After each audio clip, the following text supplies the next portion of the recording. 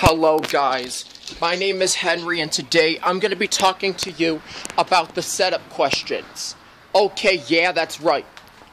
The setup questions make my mental computer get a virus. When. Oh, oh, shoot!